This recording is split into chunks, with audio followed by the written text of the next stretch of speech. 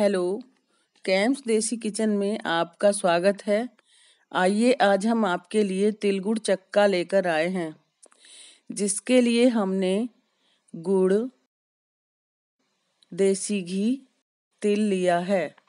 चक्का बनाने के लिए कढ़ाई में एक टेबल स्पून देसी घी डालकर तिल को भून लेंगे।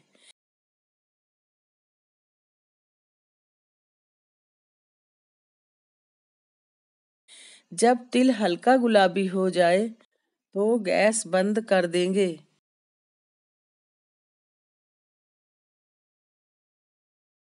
इसके बाद आधे से ज़्यादा तिल को पीस लेंगे। फिर हम गुड़ का एक डिला पानी से धुलकर गर्म कढ़ाई में डाल देंगे और धीरे धीरे पिघलने देंगे। अब देखिए, ये गुड़ पिघल गया है।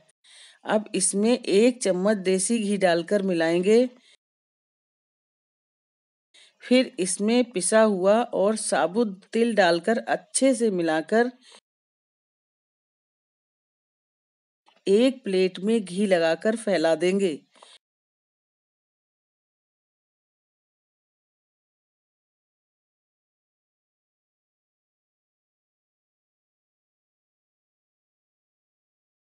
और ठंडा होने पर इसके पीस काट देंगे।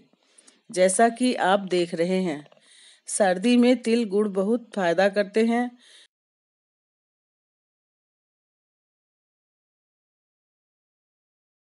अगर आपको ये वीडियो पसंद आई हो तो लाइक करें, शेयर करें और नई नई वीडियो जानने के लिए सब्सक्राइब करना न भूलें। धन्यवाद।